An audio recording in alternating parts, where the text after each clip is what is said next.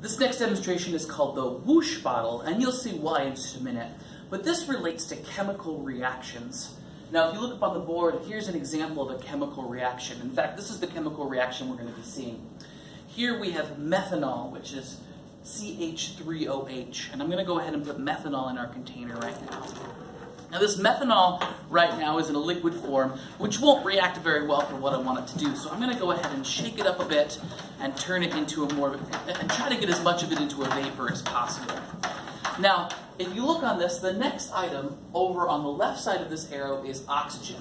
Now I'm relying on the oxygen already in the atmosphere to be part of this reaction. And so in my vessel here, I have methanol and oxygen. These two reactants are going to go through a combustion reaction. Now, after the combustion reaction, these two products, once I get this reaction to happen, will change. Their molecules will rearrange and they'll become carbon dioxide and water. Let's take a look.